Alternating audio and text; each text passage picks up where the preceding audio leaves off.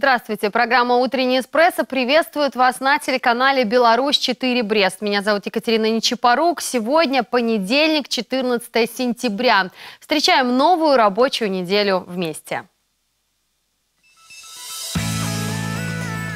Сегодня в «Утреннем эспрессо». Разберемся, кто может продолжать пользоваться налоговыми льготами, введенными из-за ситуации с COVID-19.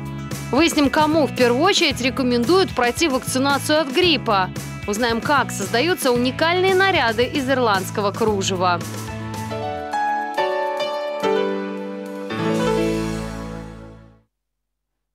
Уже очень скоро к нам присоединится гостья, которая как раз-таки расскажет, кто может пользоваться налоговыми льготами, введенными в связи с эпидемиологической ситуацией на сегодняшний момент. Обо всех особенностях налогового законодательства в этом направлении будем говорить сегодня. Если у вас есть вопросы, а, пишите их, пожалуйста, на наш номер Вайбере 821 5555. На все обязательно ответим. Ну и прямо сейчас хотелось бы такую хорошую новость рассказать всем, если вы еще не успели посмотреть прогноз погоды на ближайшие ближайшую неделю, то к нам возвращается лето. Отличная солнечная погода ждет э, жителей Брестской области на протяжении всей недели, так что стоит наслаждаться последними теплыми деньками перед наступлением прохладной осени. Прямо сейчас узнаем, какой будет погода именно сегодня в каждом отдельном городе области.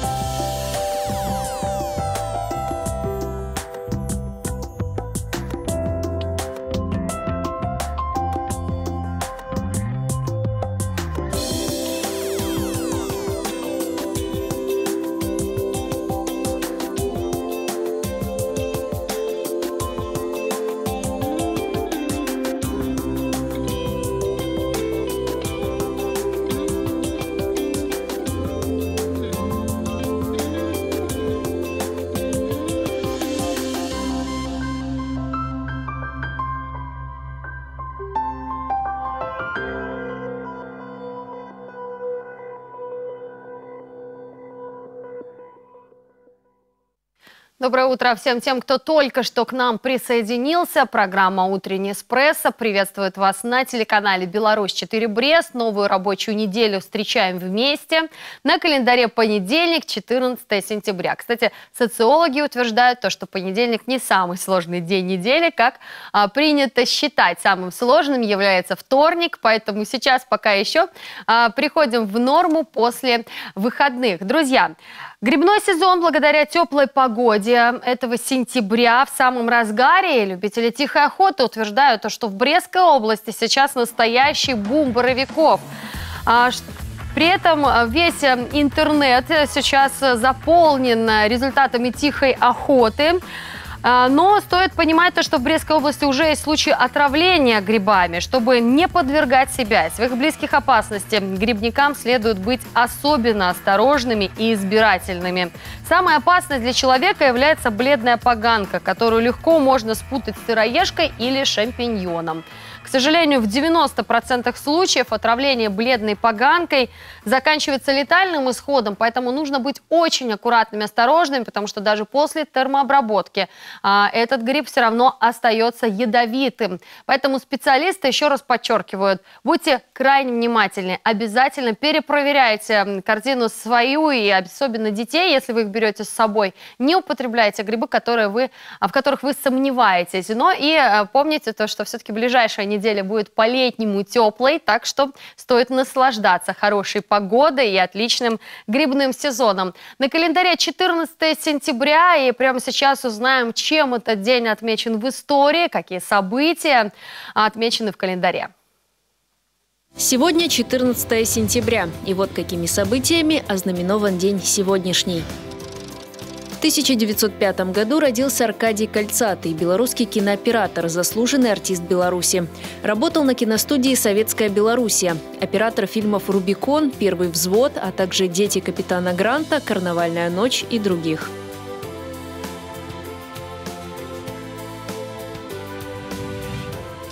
1920-м в Минске спектаклем «Рысь» по рассказу Элизы Ожешко «В зимний вечер» открылся Белорусский государственный театр. Спустя 20 лет театру было присвоено имя Янки Купалы, чуть позже – звание академического. А с начала 90-х это Национальный академический театр имени Янки Купалы. 1932 родился Игорь Кириллов, диктор телевидения, народный артист. Более 30 лет был ведущим главной в СССР информационной программы «Время». Сейчас ведет программу «Не время» на российском радио «Юмор-ФМ» вместе с Анной Шатиловой.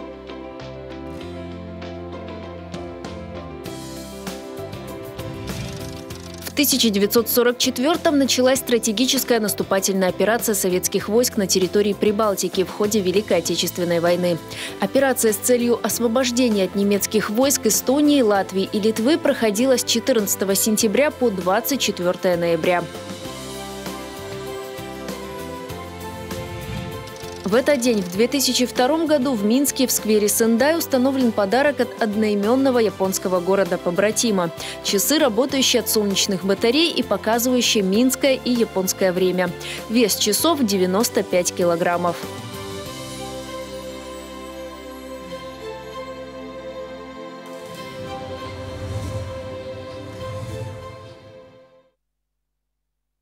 Возвращаемся в студию прямого эфира. Стоит еще раз напомнить о необходимости соблюдать все правила и элементарную, элементарные правила безопасности, потому что во всем мире прогнозируется вторая волна ковид-инфекции.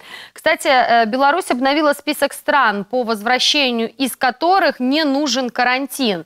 Теперь при возвращении из Узбекистана не требуется 14-дневная самоизоляция, однако в связи с регистрируемыми на протяжении последних трех недель показателям заболеваемости обратно в красный список, в красную зону вернулись Королевство Испания, Черногория, Израиль, княжество Андора и Республика Мальта. Это значит, что все путешественники, которые успели уехать в эти страны по возвращению на территорию Беларуси обязательно должны будут проходить 14-дневный э, карантин, то есть самоизоляцию. На сегодняшний день также прибывшие а, из Украины люди тоже обязаны проходить 14-дневную самоизоляцию. Кстати, турфирмы, конечно же, жалуются и утверждают, что такой процесс тормозит развитие туристического бизнеса, а, тем более при вопросе с соседней страной. Но Украина тоже сейчас закрыла границы. А, Все связано с распространением а, коронавирусной инфекции. Друзья, берегите себя и своих близких. Обязательно используйте маски в общественных местах, перчатки, антисептики. А, и э, Помните, что при первых же симптомах э, заболеваемости нужно обязательно обратиться к врачу. Если у вас есть температура, не стоит идти в учреждение здравоохранения, вызывайте врача на дом. Э, и лучшее, чем вы можете помочь э, нашим медикам, это, конечно же, оставаться здоровыми, поэтому будьте крайне внимательны по отношению к себе и своим близким. Продолжим далее говорить о здоровье, потому что уже сейчас началась вакцинация против сезонного гриппа, и в этом году иммунизация населения пройдет в особых условиях. А все потому, что особую опасность представляет заболевание одновременно и коронавирусной инфекцией, и сезонным гриппом. Все подробности в следующем материале. Найбольш эфектыўнай мерай барацьбы з віруснымі захворваннямі з'яўляецца вакцына-прафілактыка. Сёлета ў брэскай вобласці плануецца прышчапіць ад грыпу больш за 540 тысяч жыхароў, а гэта 40 процентаў насельніцтва. У бліжэйшы час першая партыя супрацьгрыпознай вакцыны з'явіцца ва ўсіх установах аховы здароўя. Прышчэпкі будуць праводзіцца за кошт сродкаў рэспубліканскага бюджэту вакцынай расійскай вытворчасці грыпол плюс. На платнай аснове будуць даступны вакцыны французскай галандскай вытворчасці. У першую чаргу імунізацыя рэкамендавана людзям з груп рызыкі. Дарэчы, у состав супрацьгрыпозных вакцин унесены змены. Ежегодно по рекомендации Всемирной организации здравоохранения изменяется состав гриппозных вакцин, то есть каждый сезон это новый состав.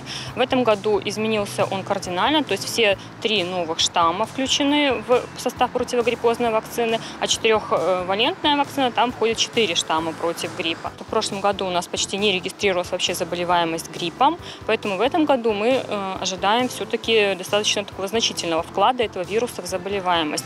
На фоне э, коронавируса, который продолжает циркулировать и вызывает заболеваемость, это до 10-15% от всех обратившихся в СУРИ. Імунізацыя працягнецца да першага снежня, аднак медыкі нагадваюць лепшы час для вакцынацыі восень, каб да пачатку эпідэмічнага сезону, які прыпадае на канец студзеня люты, у прышчэпленага чалавека мог выпрацавацца імунітэт.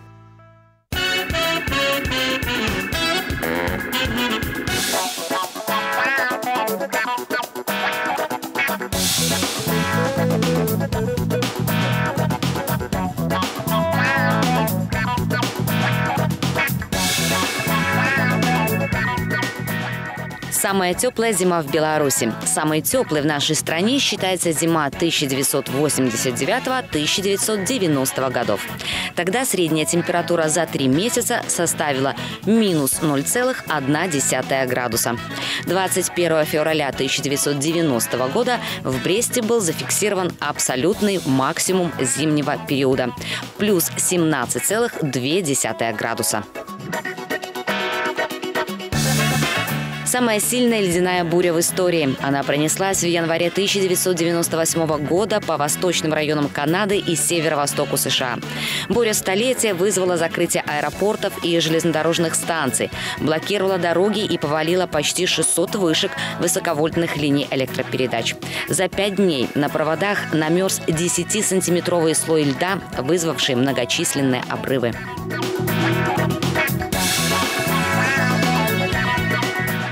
Самое быстрое хлопанье крыльями. Во время периода брачных игр обыкновенный архилохус может совершать невероятные 200 ударов крыльями в секунду, в отличие от нормальных, но не менее впечатляющих 90 ударов в секунду, которые совершают остальные калибри.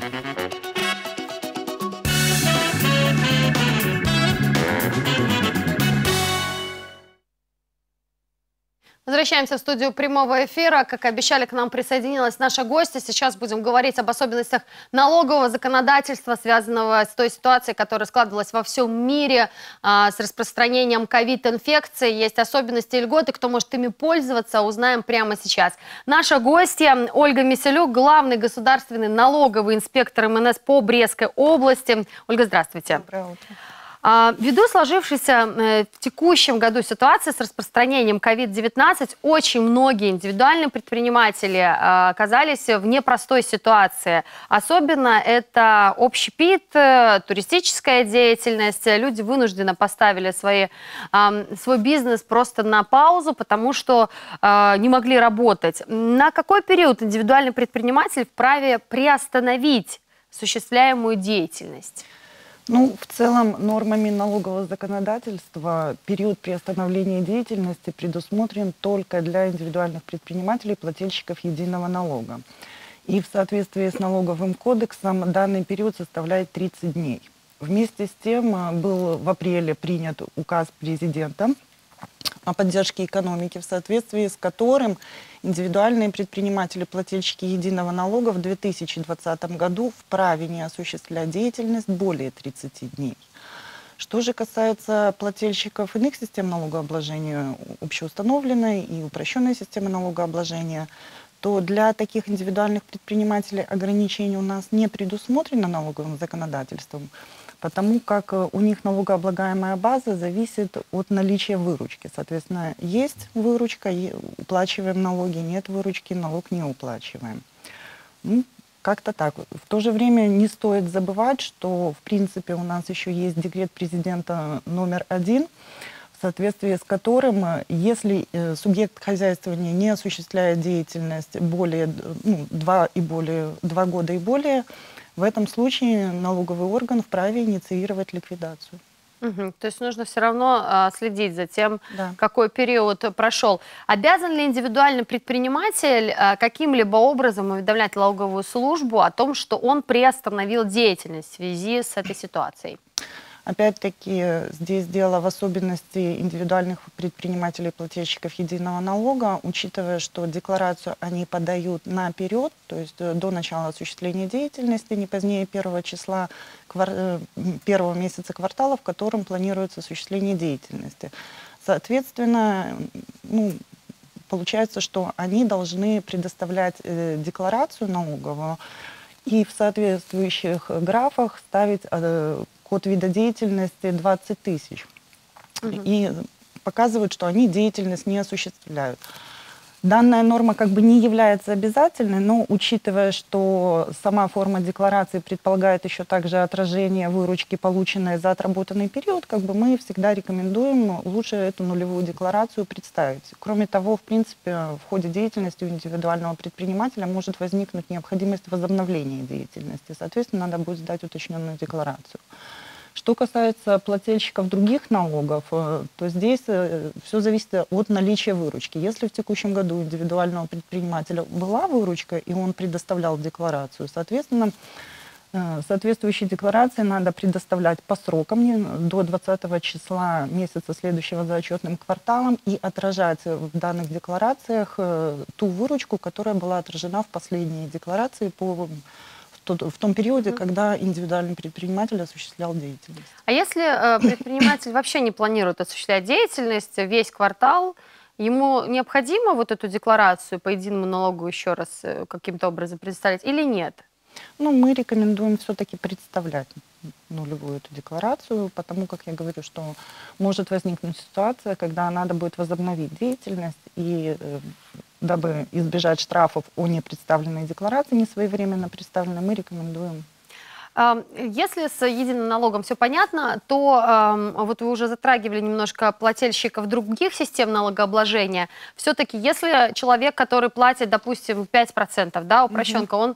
он не осуществляет деятельность, или а, у него там упали э, резко выручка вообще там до минимального размера, ему как быть? Есть ли необходимость уведомлять налоговые органы о такой ситуации, приостановлении какой-то деятельности или так далее? Ну, обязанность э, такая отсутствует. То есть э, нормами налогового законодательства не предусмотрена обязанность э, об уведомлении о приостановлении деятельности. Вместе с тем, как бы в, в целях взаимо... Ну, Информирование, помощи, да? Да, да, да. Взаимодействие с налоговым инспектором мы как бы мы рекомендуем все равно каким-то образом уведомлять. Это может быть письмо в произвольной форме, о том, что вот я на такой-то период приостанавливаю деятельность. То есть если в процессе этого периода деятельность возобновлена, человек просто потом подает декларацию о доходах, да? Мы видим это по выручке. Угу. Появляется выручка, соответственно, изменяется налогооблагаемая база, которая отражается в декларации. То, о чем вы сейчас говорили, а, касается деятельности индивидуального предпринимателя. А как быть, если, допустим, индивидуальный предприниматель не приостанавливал деятельность, но находился на больничном а, из-за заражения вирусом угу. да, ковид, или вынужденно находился на самоизоляции в связи с этой ситуации? Вот ему что нужно делать? Что касается индивидуальных предпринимателей, плательщиков единого налога, так как э, налог уплачивается наперед, соответственно, индивидуальный предприниматель, уплативший налог, не мог предполагать ситуацию, когда он либо заразился ковидом, либо стал контактом первого уровня. В этом случае он вправе представить в налоговый орган соответствующий документ, выданный учреждением здравоохранения о том, что он находился на больничном в связи с заражением COVID-19, либо требование о соблюдении правил самоизоляции. Э, в этом году есть также э, особые условия, при которых э, можно переходить с одной системы налогообложения в другую. Это правда или это какой-то миф из интернета? Нет, это не миф из интернета. На самом деле, да, как я уже говорила, был подписан указ 143 о поддержке экономики, в соответствии с которым предусмотрено для индивидуальных предпринимателей плательщиков единого налога. В общем-то, все касается именно данной категории плательщиков, ввиду того, что и фиксированная ставка, и уплачивается наперед, им дано право в 2020 году переходить на иные системы налогообложения, либо на общеустановленные, либо на упрощенную систему налогообложения, в любом из, из месяцев текущего года. Для этого необходимо, если индивидуальный предприниматель планирует перейти, допустим, на упрощенную систему налогообложения, необходимо не позднее 20 числа текущего месяца представить в налоговый орган уведомление о переходе на упрощенную систему налогообложения и уточненную декларацию по единому налогу. И, соответственно, с текущего месяца он будет признаваться уже плательщиком другой системы. Это сделано для того, чтобы человек, если у него, допустим, появляется работа, мог продолжать да. осуществлять свою деятельность, да. правильно? Да. А, сложнее ли вести а, все бумаги, связанные, допустим, единый налог и упрощенной системой налогообложения? Это как можно оценить? самому? Ну, в некоторой степени сложнее, конечно. Сама по себе, сама форма книги по упрощенной системе налогообложения, она на порядок сложнее. Вместе с тем, ну, субъект хозяйствования самостоятельно уже определяет, насколько ему это выгодно. Угу. Если индивидуальный предприниматель в 2019 году, например, являлся плательщиком единого налога, с начала 2020 деятельность не осуществлял, он вправе при начале осуществления деятельности, то есть вот он какое-то время не работал, а потом угу. решил работать и уже тогда решил применить следующую систему налогообложения. Обязательно ли это делать сразу? Вот какая здесь система? Дело в том, что 143-м указом предусмотрено, что право на переход на упрощенную систему налогообложения имеют индивидуальные предприниматели, представившие декларацию и уплатившие налог. Соответственно, если деятельность индивидуальным предпринимателем в текущем году не осуществлялась, и он э, не подавал уведомления о переходе на упрощенную систему в 2019 году, соответственно, в текущем году он остается плательщиком либо единого налога, либо общеустановленной системы налогообложения с уплатой подоходного налога. Мы на протяжении всей программы говорим о том, что сейчас во всем мире ожидается вторая волна коронавирусной инфекции. А какие меры безопасности у вас непосредственно для специалистов введены э, для того, чтобы обезопасить и налоговых инспекторов, и людей, которые приходят? И обязательно ли использование масок, когда заходишь к вам э, на территорию здания? Э, в Центре по работе с плательщиками у нас все сотрудники, безусловно, находятся в масках. Это обязательное условие при контактах с плательщиками, инспектора, которые непосредственно контактируют, также обязаны носить маски. Естественно, у нас есть ИД-средства и предусмотрено в принципе, для минимизации контакта э, при входе в налоговую инспекцию, вы знаете, что у нас одно здание, где находится и Ленинская, и Московская инспекция, там специально установлены ящики, в которые плательщик может э, оставить либо декларацию, либо какую другую информацию. Ну и вообще мы рекомендуем, конечно, подключаться к системе электронного декларирования, что само, само по себе уже как бы предполагает э, не контактировать. Ну, либо можно отправлять декларации через э, кабинет плательщика. Личный По почте сейчас отправляют декларации или нет? Или это уже прошлый век? Отправляют, да? Отправляют. Действительно, если ты даже отправил в последний день подачи, оно все равно, так да. как зарегистрировано, считается верным. То Именно так и может, есть, да? да. То есть э, если, допустим, срок представления декларации не позднее первого числа текущего месяца, соответственно, если декларацию вы отправили по почте первого числа, угу. она будет зарегистрирована как первая, несмотря на то, что получим мы ее позже. А если она была заполнена неверно? Инспектор с вами обязательно свяжется и представит уточненную. А, уточненную. Да. То есть все равно это работает, да, это, это тоже засчитывается, конечно. Защитить себя да. Э, и своих близких. Спасибо вам большое за информацию. Э, все вопросы дополнительные, куда задавать, кому звонить, как обращаться. Раньше была система, вот мой личный инспектор налоговый, я к нему обращаюсь. Сейчас немножко по-другому. Все-таки вот где вы рекомендуете черпать информацию, если ну, не могу могу разобраться с документами, как это все заполнять и так далее?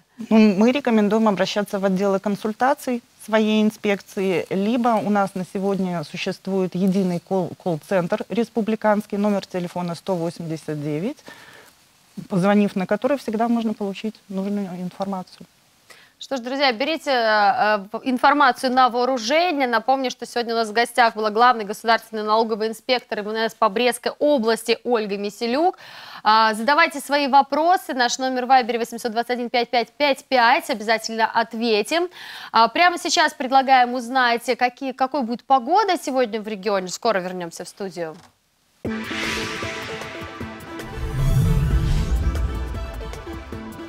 Все ситуации, которые возникнут сегодня, окажутся на руку Овнам. Наконец-то вы сможете спокойно и без нажима воздействовать на свое мировоззрение, а также поделиться богатым опытом с другими людьми.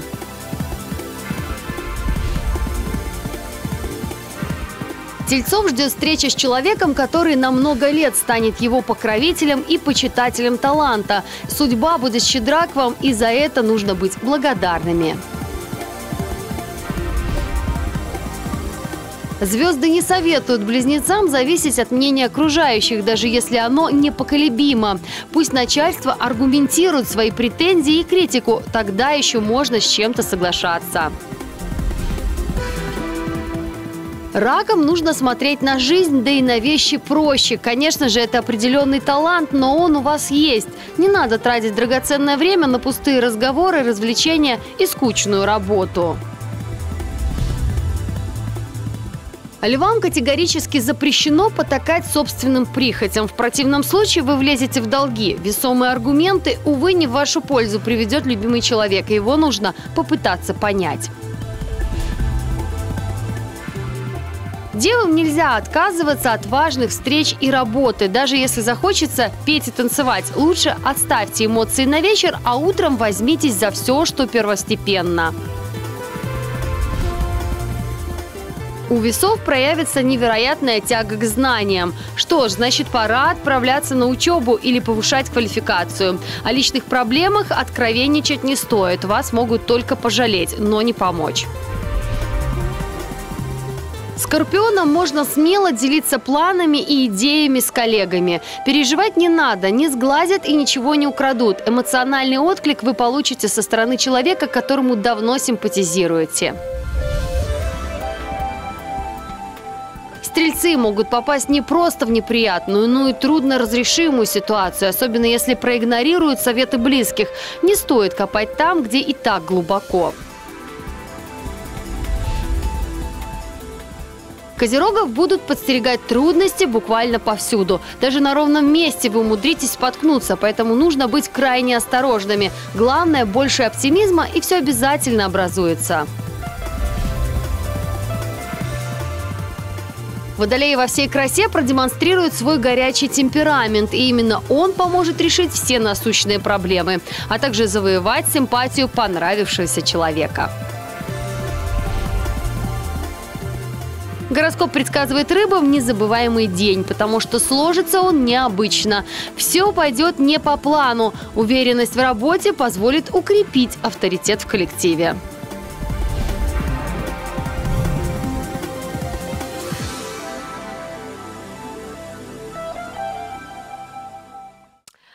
Специалисты из США, проведя множество исследований и анализов, установили, что очень большое количество продуктов, которые употребляются нами в пищу, вредны здоровью, как раз-таки из-за вредных веществ, которыми их удобряют. Вот такая вот информация. А, мы составили небольшой рейтинг самых опасных фруктов, э, по мнению западных специалистов, и овощей, которые а, больше всего впитывают всевозможные пестициды. И первое место, как не обидно, досталось знакомой всем вкусной сладкой клубники. В ней содержится большая концентрация пестицидов. Э, ВОЗ назвали ее самым опасным продуктом, в котором накапливаются вредные вещества. А, далее у нас стоят шпинат и яблоки на втором месте. А, кстати, вот в клубнике накапливается вредных веществ э, при, примерно 20% от ее массы. Это очень, конечно, много. Третье место заняли персики, нектарины, груши, вишни и виноград. Самыми отдаленными по опасности накопления всевозможных пестицидов стали картофель, перец и томаты, подчеркнули специалисты. Неопасными специалисты признали грейпфрут фрукты, ананасы, авокадо, капусту, спаржу, баклажаны, лук и кукурузу. Именно э, эти продукты не накапливают вредные вещества, даже если в процессе выращивания их э, удобряют. Большинство, это 70% всех представителей фруктово-овощной корзины, э, по мнению исследователей, проходят предварительную химическую обработку. Э, она вредна для эндокринной нервной системы, поэтому стоит все-таки употреблять употреблять их э, очень внимательно, относиться к тому, где вы покупаете фрукты и овощи, и а, какое количество препаратов всевозможных использовано было для выращивания. Ну, такая вот информация. Надеемся, что все-таки это больше а, к западной культуре относится, и у нас более натуральные продукты. Всем тем, кто а, сейчас э, завтракает в нашей компании, хочется пожелать приятного аппетита. Помните то, что завтрак – это главный прием пищи. Хотя, хотя совсем недавно приводили пример например, то, что а, все-таки очень плотный завтрак тоже переоценивают, а, потому что специалисты утверждают, что а, нужно прислушиваться к своему организму и кушать ровно столько, сколько хочется, ни в коем случае не заставлять себя есть больше а, той нормы, которую требует ваш организм.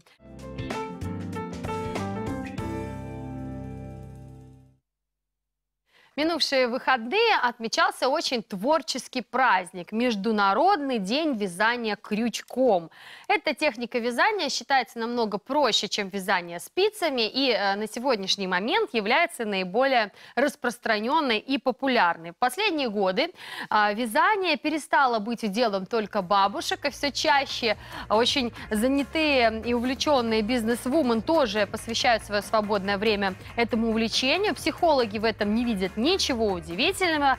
А, по их мнению, спицотерапия – один из наиболее доступных и эффективных способов избавления от психологического напряжения. Все потому, что равномерные, ритмичные движения рук, медленное разматывание клубка, петли, иногда тихое позвякивание спиц – все это а, благотворно влияет на нашу нервную систему. Так что, если вы э, не знаете, какое хобби поможет вам успокоиться после тяжелого дня, обращайтесь обращайте свое внимание на вязание крючком и спицами. Кстати, последнее время а, все популярнее в мире это вязание, вязание и это увлечение становится не только среди женщин, но и среди мужчин. Так что а, присоединяйтесь к общему движению. Кстати, вот далее наш следующий сюжет а, расскажет о том, какие шедевры могут получиться, если вы а, свое хобби превращаете а, в смысл жизни. Уникальные стильные наряды из ирландского кружева уже около пяти лет создает жительница агрогородка Большие Мотыкалы. Катерина Василюк. В ее копилке есть участие как в международных, так и э, в республиканских конкурсах, мастер-классах. Все подробности сейчас узнаем из нашего видеоматериала. Первое из ирландского кружева и самое любимое. На создание этого платья ушло около полугода. Практически каждый вечер Катерина Василюк вязала свой наряд и параллельно изучала новую технику по сравнению уже с теперешними моими работами, грубоватое, не такое красивое, но как первое, оно мне очень нравится.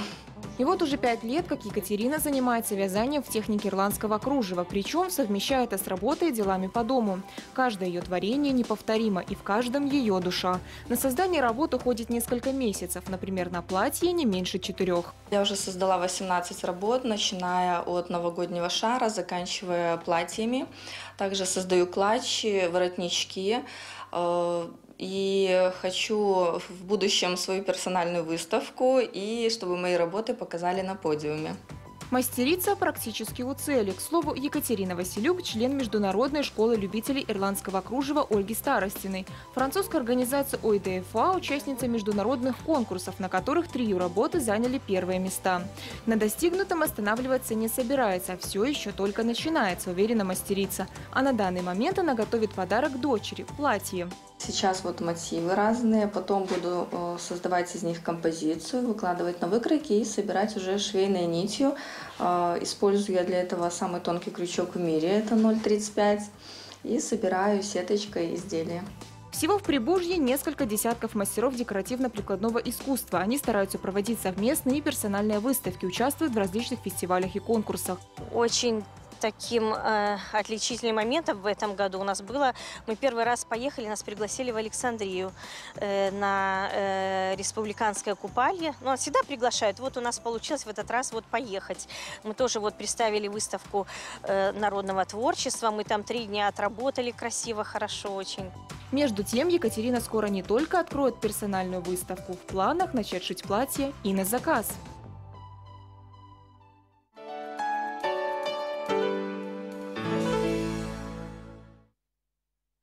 14 сентября на календаре понедельник. Кстати, по старому стилю это 1 сентября. И а, вот именно на эту дату приходится новолуние или славянский Новый год.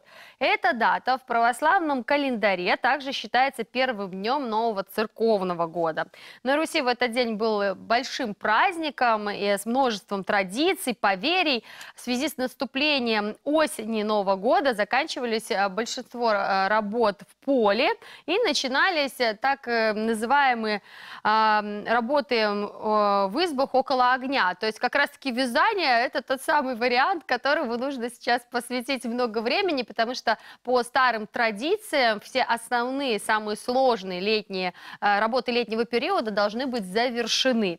Вот такая вот информация для расширения кругозора.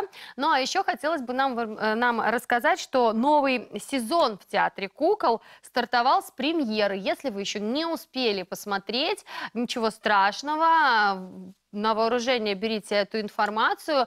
Надеюсь, заинтригует вас наш следующий сюжет, и вы обязательно купите билеты на ближайшую доступную дату.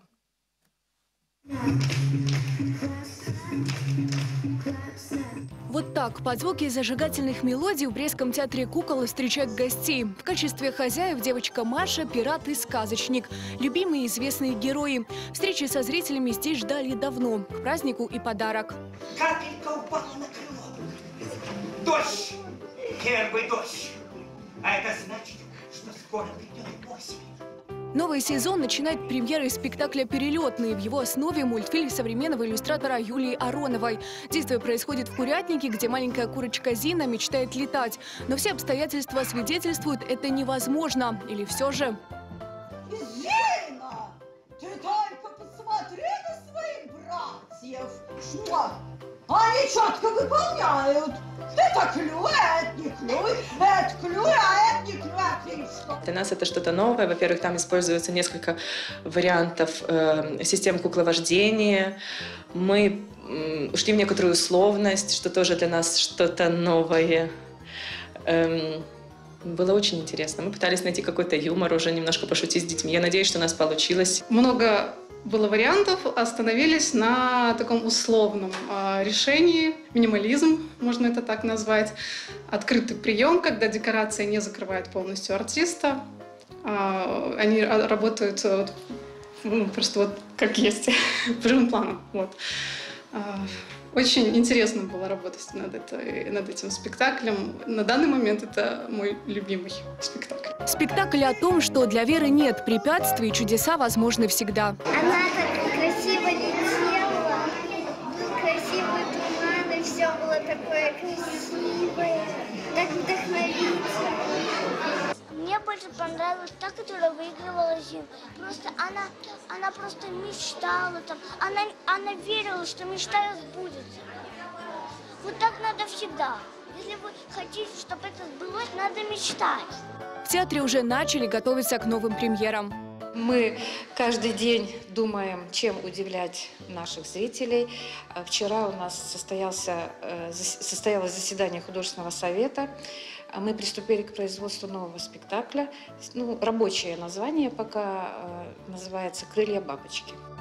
В календаре событий фестиваль «Те-арт», а также подготовка новогодней программы. Все, чтобы снова порадовать и удивить маленьких и взрослых зрителей.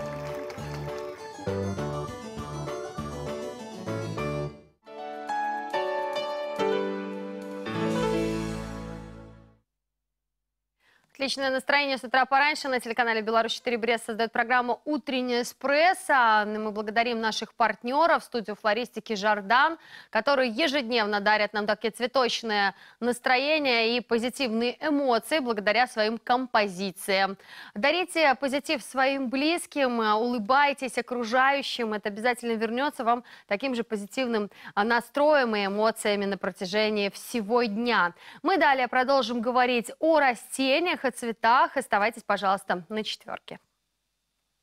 Эти многолетние вьющиеся растения привлекают внимание разноцветными крупными или мелкими цветами. Клематисы, известные также как княжики, и ломоносы завоевали популярность благодаря способности оплетать дачные постройки. Опытные цветоводы советуют проводить посадку растения в сентябре-октябре, но для каждого региона сроки сдвигаются в зависимости от погодных условий. Важно помнить, что он родом из тропиков. Ему необходимо много солнца и максимальная защита от ветра. Их даже называют королями солнца, то есть вся верхняя часть должна находиться на палящем солнце, а именно корневая система должна быть притененная. То есть вообще в идеале снизу еще желательно посадить пару низких растений, даже те же самые миниатюрные бархатцы очень хорошо подойдут. Чтобы предотвратить загнивание корней и увядание побегов, в почву желательно внести раскислители. Именно я при посадке в ямку добавляю примерно полстакана доломитовой муки и полстакана золы для увеличения питательных веществ. Это все мы перемешиваем. Перед посадкой корни клематиса нужно осмотреть и слегка расправить. Саженец загубляется в землю так, чтобы почва покрывала не только корневую шейку, но и первую пару почек. Это позволит растению укрепить иммунитет и в будущем более активно куститься. При посадке клематисы нужно обязательно заглубить. Зачем? Все очень просто. Зимой, когда у нас снег, очень часто бывает такое, что наши стволики он просто переламывает. А если в земле не будет почек, если мы не заглубим, то ему будет неоткуда вылазить. Сразу после посадки растение нужно полить. Воду лучше выливать не прямо в посадочную яму, а равномерно увлажнить почву вокруг нее. Необходимо также позаботиться о том, чтобы первое время лунку не заливало дождями. Укрывать их нужно так же, как и мы укрывали в прошлом выпуске будлейку, таким же куполом. И ни в коем случае клематисы нельзя ложить на землю. Почему? Потому что когда мы снимаем с опоры и ложим на землю, большинство наших росточков ломается, и это не есть хорошо. После посадки грунт вокруг стебля нужно регулярно рыхлить и поливать. Дополнительная подкормка осенью не нужна. Она способна вызвать гниение корня. Вот еще один красавец, который до сих пор цветет. Сорт называется «Бал цветов». На самом деле у него будут огромные цветы, как тарелка. Сейчас, конечно же, осень, цветение не такое полноценное, как летом, но, тем не менее, вот цветет и не один цветочек, а несколько. К осенней посадке клематиса нужно подойти со всей ответственностью. Если не соблюдать сроки и другие рекомендации, молодой саженец не сможет пережить зиму. А вот при правильном уходе яркие цветы будут радовать на протяжении всего следующего лета.